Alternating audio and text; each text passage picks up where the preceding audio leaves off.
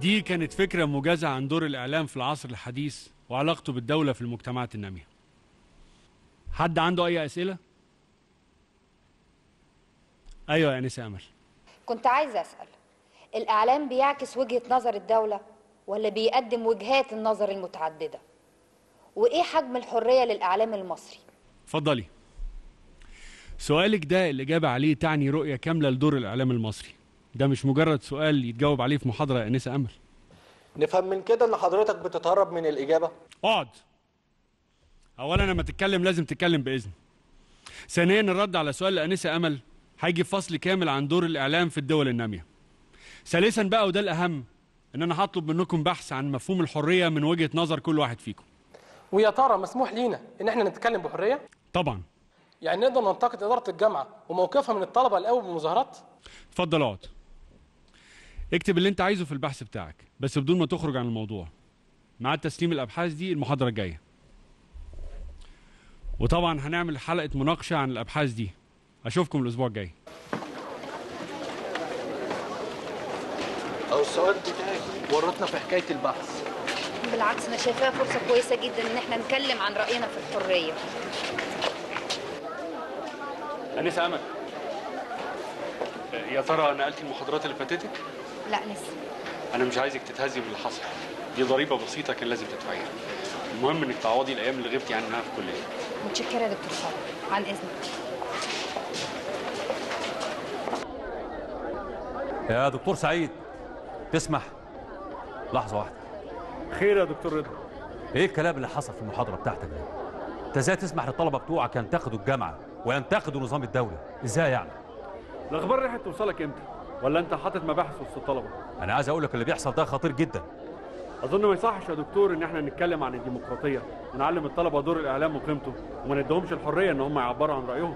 دي تبقى فوضى بقى. والله عمر الديمقراطية ما كانت فوضى. أظن ظروف البلد الحالية ما تسمحش بتشجيع الطلبة على الانفلات. ما تخافش عليا ولا على الطلبة بتوعي يا دكتور. والحمد لله إن الأولاد عندهم وعي بالمشاكل اللي بتحصل في البلد وعايزين يلعبوا دور إيجابي. وأظن دي حاجة كويسة المفروض نشجعها. وأظن كمان إن أنت عارف كويس قوي إيه اللي بيحصل لما بنخنق الشباب ونمنعهم عن التعبير عن آرائهم وأفكارهم. وأعتقد إن زمن الرعب والخوف انتهى خلاص. ولا أنت إيه رأيك يا دكتور؟ عن إذنك.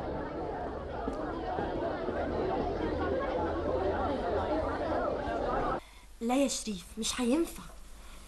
مش هقدر النهارده. الحكاية عايزة ترتيب. لا ما أصل الظروف كلها اتغيرت بعد ما الست أمل جت تعيش معانا. وأنا كل ما أقول لك نخرج تقولي لي الظروف اتغيرت. وأنا ما وحشتكيش ولا إيه؟ هو كلامه بس. يعني عايزة تفهميني إن أنت لو عايزة تنزلي مش هتلاقي حجة؟ ما أنا لو خرجت بابا هيقولي خديها معاكي. وماله إزاي؟ يا ابني أمل دي غيرنا خالص. دي بنت دمها تقيل كده وعاملة زي الكبه لا لا لا لا يمكن طبعا ابدا نبقى أصحاب. هي حاجة وأنا حاجة تانية. أنا معرفش بقى هي هتفضل قاعدة على قلبي كده لحد إمتى. طيب okay يا فاتن. أشوفك بكرة بقى في الكلية. bye bye. أمل اقفلي النور والنبي بقى عشان أعرف أنام. أنت هتنامي من دلوقتي؟ لسه الساعة 11 غريبة قوي إني انام الساعة 11 لا يعني مش غريبة ولا حاجة. بس أنا بصراحة كنت محتاجة أذاكر شوية. اطفي النور. مش كل يوم اللي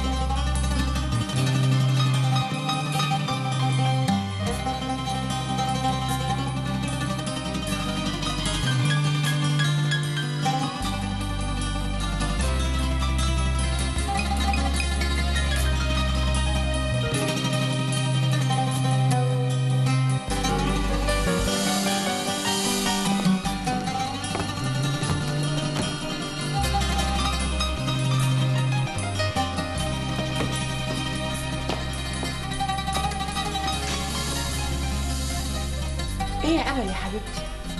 إيه اللي مقعدك هنا لوحدك؟ النور ضعيف قوي.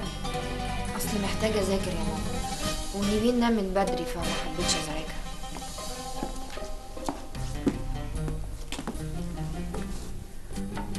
قولي لي يا أمل انت مرتاحة هنا؟ أيوه ماما مرتاحة الحمد لله. وأنا كمان مبسوطة قوي إنك موجودة معايا.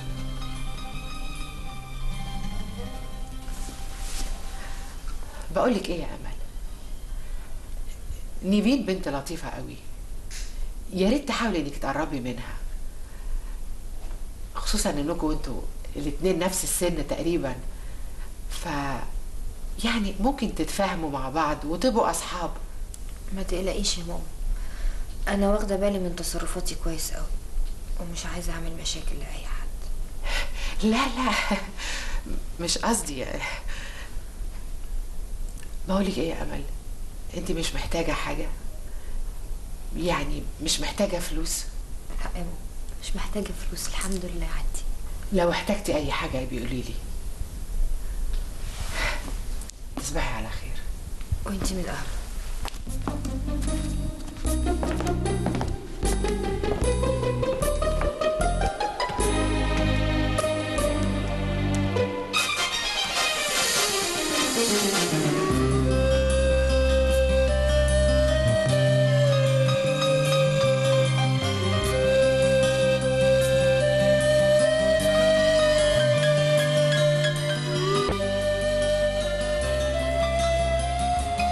أمل أمل. ازيك يا هاني عامل إيه؟ وعمتي أخبارها إيه؟ وحشتني جدا. ماما كويسة بس تعرفي بقى بيت ملوش معنى من غيرك. بس أنا جيت أشوفك عشان انت وحشتيني قوي وأنت كمان يا هاني وحشني جدا. أمال إزاي هان عليك تبقي بعيد عن البيت الفترة دي كلها؟ ماما زعلانة قوي يا امل لقيتها امبارح بتعيط. أنا متأكد إن انت مش هتستريحي عند صفية هنا هترجعي بيتك يا امل بيتي؟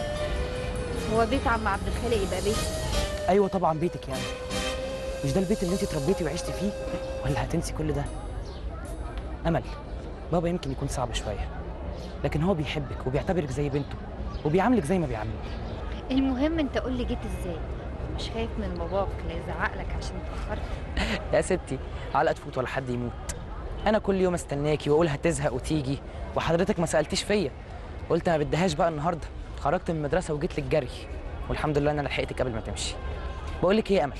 في فيلم لسعاد حسني انما بيقولوا عليه تحفة. خلي بالك من زوزو ده بيقولوا عليه مكسر الدنيا وأنا نفسي اشوفه قوي. عم عبد الخالق استحالة يوافق انك تروح السينما. ما إحنا مش هنقول. له إذا كان لما بيلاقيني بسمع مزيكا بيهد الدنيا. عايزين أقول له إن أنا عايز أروح سينما؟ هتعمل إيه؟ هتكذب عليه؟ أنت عارفة بابا كويس يا أمل. ما تنفعش معاه الصراحة ابدا. مهم عشان خاطري. شوف يوم ما يكونش عندك فيه محاضرات الصبح ونروح سوا. خلاص يا هاني خليها لحد. بس وعدني إنك هتذاكر كويس عشان محدش يضايقك خلاص أوعدك. المهم أنا لازم أمشي. أنت عارفة بابا زمانه قلب عليا الدنيا. سلام. خش اتأخرت ليه؟ أنت كنت فين يا نهد؟ أنت. بالراحة بالهداوة. مش همد إيدي عليك بس تنطق وتقول لي كنت فين. كنت فين يا كلب؟ كنت فين يا على خلاص خلاص. سيبي الواد فرصة ينطق. ما هو مش عايز ينطق. مش عايز يشفي غليلي ويقول لي كان فين. من المدرسة للبيت عشر دقايق ماشي بقالك ساعة ونص. كنت في أنهي داهية ومع مين؟ رد رد يا هاني. رد على أبوك ريحه وريحني. يا بابا أنا أنا أصلي كان ليا واحد صاحبي تعب قوي وأغمى عليه. وصلته بس لغاية بيته وقعدت معاه شوية. اسمه إيه الواد ده؟ آه، اسمه حمدي. حمدي إيه؟ واتكلم من غير ما تفكر. حمدي عبد المجيد يا بابا.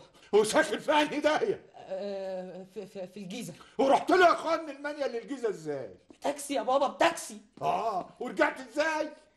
بتاكسي برضه ودفعت كام يا بابا إحنا كنا شلة أصحاب قسمنا أجرة التاكسي على ما بينا يا حلاوتك يا اخويا يعني أنا اشقى أتعب وأدفع الكوته علشان تتسمم أنت وأمك وفي الآخر تاخد الفلوس تدفعها الكوسه يمين بالله العظيم لو اتكررت الحكاية دي تاني لاكون مشرحك حتت. لو لقيت واحد ميت مش مغمى عليه مالكش دعوة تيجي على بيتك على طول فاهم ولا لا؟ خلاص خلاص يا أخويا مش هيعملها تاني ابدا. امشي جر على أوضتك يلا. تقلع هدومك وتتشطف وتغسل رجليك وتقعد على مكتبك تذاكر. الساعة ونص دول لازم تعوضهم يا اخويا أنت عندك ثانوية عامة. عارف يعني إيه عندك ثانوية عامة ولا ما تعرفش؟ غرب الوشي وأنت مالك يا بابا؟ أنت علي كده ليه؟ يلا افتح الصليب دتكم الغم على نكد.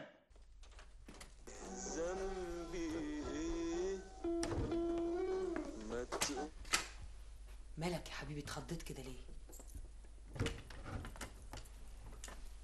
كده برضو يا هاني. سايب مذاكرتك وبتسمع مزيكا؟ أنا مش هذاكر أصلا يا أمي. ليه بس كده يا حبيبي؟ هو أنت بتعاند أبوك ولا بتعاند نفسك؟ أنا عايز أقول لك على حاجة. أنا لا كنت لا بوصل لصاحبي ولا أي حاجة من دي حصلت. يا نهارك أبيض! بل كنت فين؟ كنت في الجامعة عند أمل يا أمي. يا دي النيلة على أمل وسنين أمل. انت إيه اللي وداك هناك. وحشتني. كنت بشوف الإنسان اللي بحبها وبتحبني. كنت بشوف الإنسان اللي مصبراني على الغلب اللي أنا عايش فيه. طب بس بس بس. لحسن أبوك يسمعني طايل عيشتك هي عاملة إيه؟ كويسة؟ مرتاحة عند أمها؟ هترتاح إزاي وهي عايشة غريبة يا أمي؟ ما هي اللي مش وش نعمه إحنا كنا شايلينها في حباب عينينا. بابا هو اللي خلاها تطفش وتسيب البيت. هي محدش مشاها. هي اللي تفشت. وبعدين بص يا هاني أنا خلاص يا حبيبي كبرت وما بقتش قادرة على المناح ده. أنا كل اللي يهمني في الموال ده كله إنك تخلص دراستك وتشتغل عشان أطمن عليك. سكتك غير سكة أمل خالص. ابعد عنها نهائي.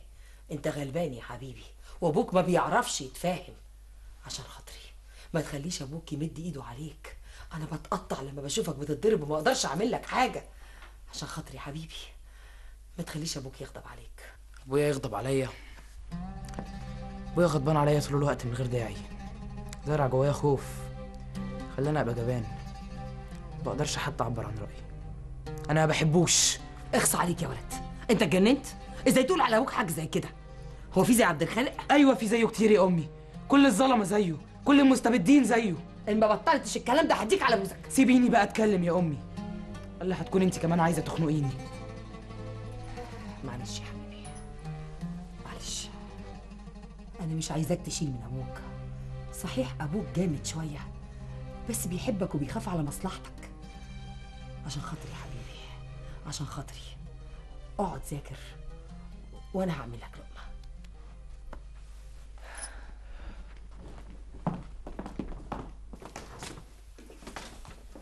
ما تقولي عليه تخص إيه يا امل؟ انت لسه قاعدة زي ما انت ما تقومي تلبسي بقى انت كده بتأخريني. أنا مش فاهمة انت ليه مصممة تاخديني معاكي؟ يا سلام عليكي. ما قلتلك هنروح نذاكر عند فريدة صاحبتي. انت رايحة تذاكري مع صاحبتك أنا إيه لازمتي معاكم؟ بصراحة كده بابا لو لقاني خارجة لوحدي وانت قاعدة هنا هيبقى الموضوع شكله غريب ومش طبيعي. والمفروض بقى قدام بابا إننا أصحاب. يعني لازم لما أروح أذاكر بره أخدك معايا. الكلام اللي انت بتقوليه ده اولا باباكي عارف إن أنا في إعلام وانت في آداب إنجليزي. هنذاكر إيه مع بعض؟ يا ستي بس هاتي كتبك وتعالي اقعدي معانا. المهم نبقى مع بعض. قومي بقى. قومي أنا مش فاضيالك لتضييع الوقت ده كله. قومي. يلا. تبقى تجيلنا الساعة 12 يا أستاذ عبد. لا الساعة 12 ده متأخر قوي. أنا عندي كلية بكرة الصبح. ييه. تعالى لنا الساعة 11 يا أستاذ عبده حاضر يا ست هانم. العمارة اللي جاية اركن هنا. حاضر يا فندم.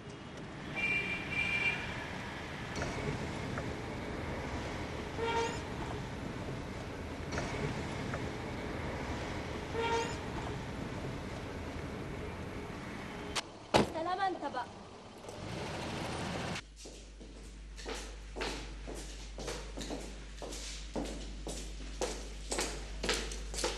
استني استني رايحة فين؟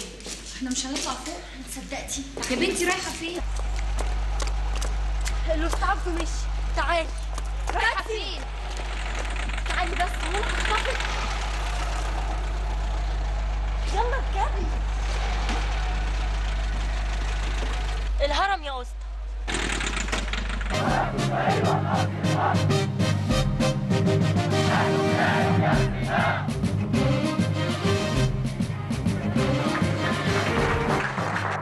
أمل استني.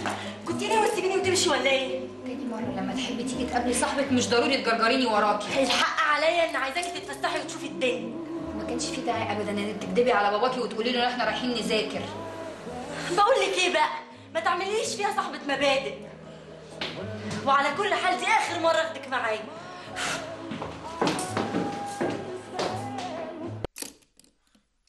صفية! يا صفية!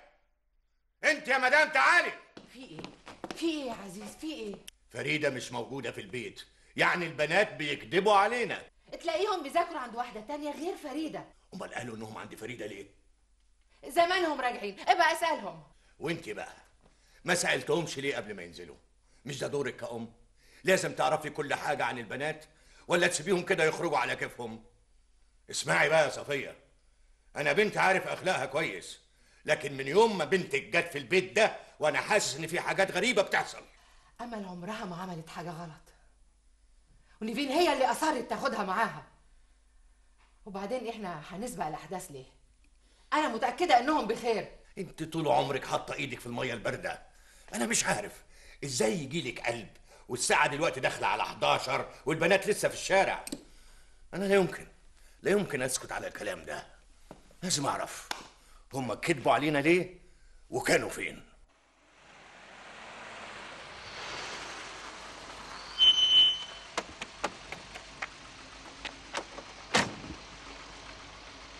اتأخرت كده ليه؟ الساعة 11 بالظبط يا ست هاني لا الساعة 11 وربع. تبقى تظبط ساعتك دي بقى ولا ترميها؟ أنا آسف على التأخير يا فندم. اتفضلوا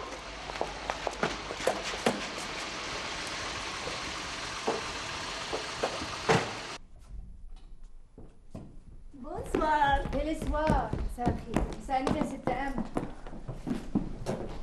كنتم فين؟ ما أنا قايله لك يا بابا كنا بنذاكر عند فريد مم. كنتم فين يا أمل؟ إحنا كنا ديسكو في الهرم يا كدابة يا بنتي بتكذبي ليه؟ عايزة توقعي بيني وبين بابا ليه؟ ما تصدقهاش يا بابا دي هي اللي كانت عايزة تاخدني معاها الديسكو وأنا رفضت عظيم ودلوقتي بقى أصدق مين فيكم؟ تصدقني أنا طبعا. يا بابا أنا بنتك حبيبتك اللي عمري ما كذبت عليك. طب أنا لو كنت عاوزه أروح الديسكو ما كنت قلت لك ما كنتش هترفض. إيه بقى اللي هيخليني أكذب. طيب يا أمل عندك رد مقنع على الكلام ده؟ أنا بصراحة ما عنديش رد تاني. إحنا كنا في الديسكو. وبعدين معاكم أنتوا الاتنين. مين فيكم اللي كذاب يا أمل؟ أنا مش كدابة. بنتك هي اللي كدابة. خلاص يا بنت. أنا مش هرد على حضرتك. أنا عايزه أسأل أمي هي ساكتة ليه؟ انت ما بتتكلميش ليه؟ خلاص الخوف مالي قلبك لدرجة إنك مش قادرة تدافعي عني. إيه يا أمل؟ إيه في إيه؟ إيه اللي انت بتقوليه ده؟ انت جاية هنا تعملي مشاكل وخلاص.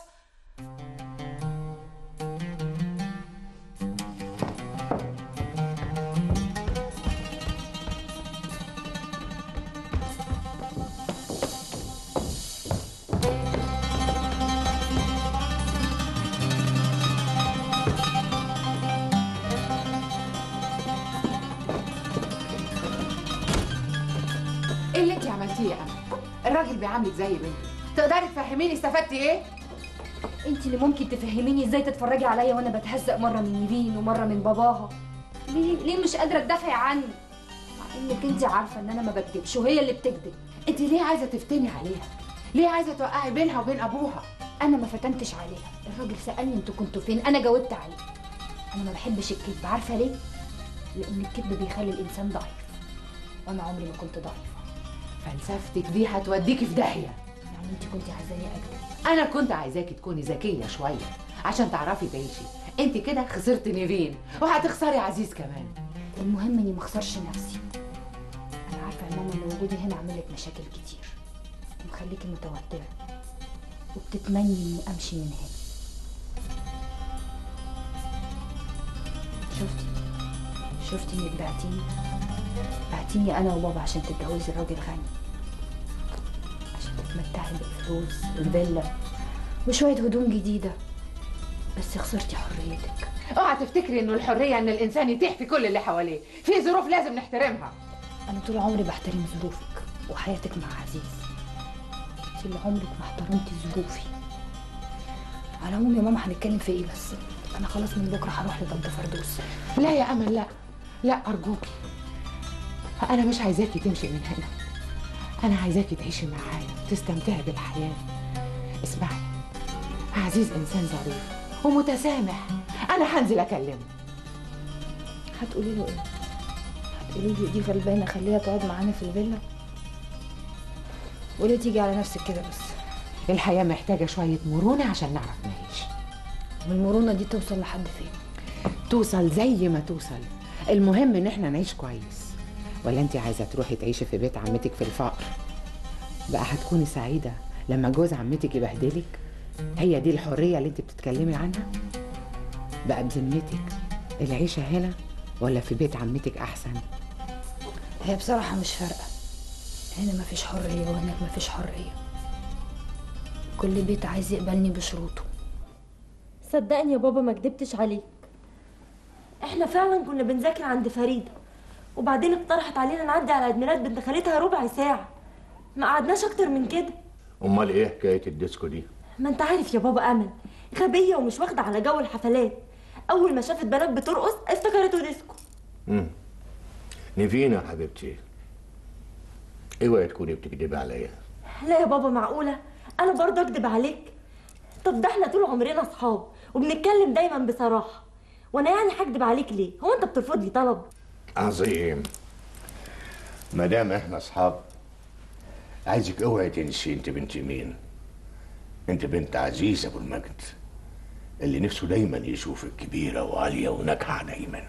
اطمن يا بابا بكرة تشوفني مين هتبقى إيه؟ تعالي يا نجينا حبيبتي.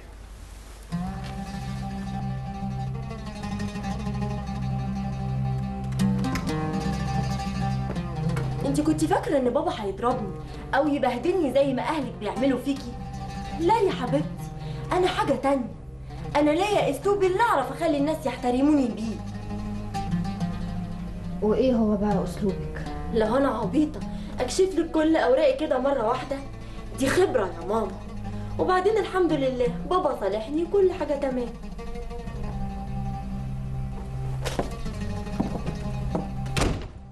أنا بقى نفسي. اعرف أنت عملتي كده ليه؟ كنت فاكرة إنك هتاخدي point عند بابا هيكدبني ويصدقك. هتبقى أنت اللي صح وأنا اللي غلط. يا بنتي يا بنتي أنا بابا عمره ما يصدق فيا حاجة وحشة ابدا. مادام والدك بيثق فيكي كده يبقى بيتهيألي يعني كان عيب تخوني ثقة شوف يا أمل أنا لو كنت قلت لبابا أنا عايزة أروح الديسكو ارقص مع صحابي كان في الأول هيقول لا لكن بعد ما اقعد اتحايل عليه واتدلع عليه كان هيوافق خلاص مادام كان هيوافق يعني كدبتي عليه ليه؟ لأن الكذب لذيذ. يا بنتي أنا لما أعمل كل اللي أنا عايزاه بسهولة كده الحكاية ما يبقاش ليها طعم. يعني بابا لو كان موافق إني أروح الديسكو كان يبقى الحكاية ملهاش معنى خالص. إنما لما آخد حقي كده أهو أحس بالمغامرة وبحلاوه الحاجة. أنت عارفة أكبر نسبة انتحار وأتعس ناس في الدنيا هم اللي عندهم الحرية المطلقة. تعرفي ليه؟ لأنهم بيعملوا كل اللي هم عاوزينه كده ببساطة بعيد عن أي سلطة فطبعا ما بيحسوش بطعم أي حاجة والحياة بتبقى مسخه ومن غير طعم. أنا في الحقيقة يا نيفين عايزة أشكرك. بصراحة النهارده أخدت درس عمري ما هنساه. ولسه؟ انت هتتعلمي مني حاجات كتير. ده لو كنت ناوية تكملي قاعدة معانا.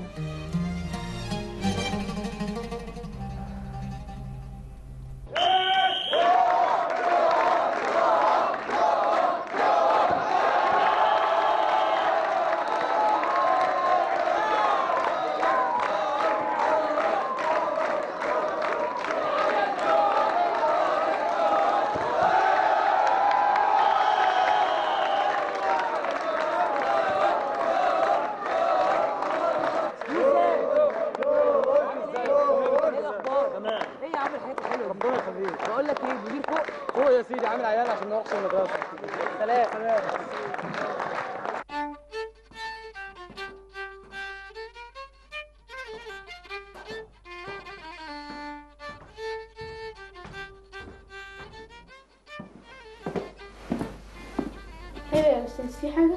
منير موجود أيوه موجود خش بس ما تلبخش بالدنيا لا لا بس قولي له هاني بيكلمي مين يا منى ده صاحب الأستاذ منير.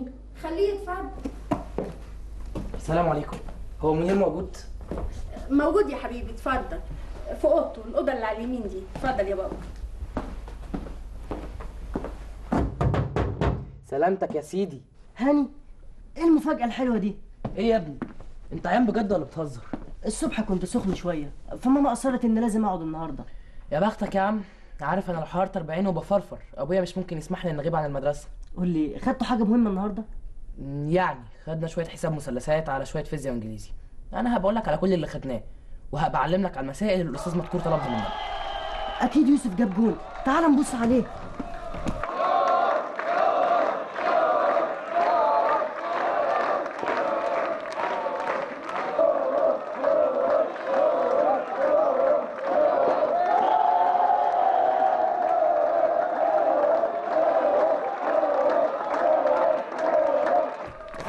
عارف ان يوسف بيلعب كورة يا منير طبعا عارف وبيشجعه كمان. هي دي حاجة تستخبى. لا بس متهيألي إن الكورة هتعطله عن مستقبله ودراسته. بالعكس ده بينجح بتقدير جيد مرتفع. وعلى فكرة ده هيلعب قريب في الأهلي. ويمكن نتنقل في شقة تانية غير دي. تتنقله تتنقله ليه؟ أنت عارف إن لعيبة الكورة رزقهم واسع.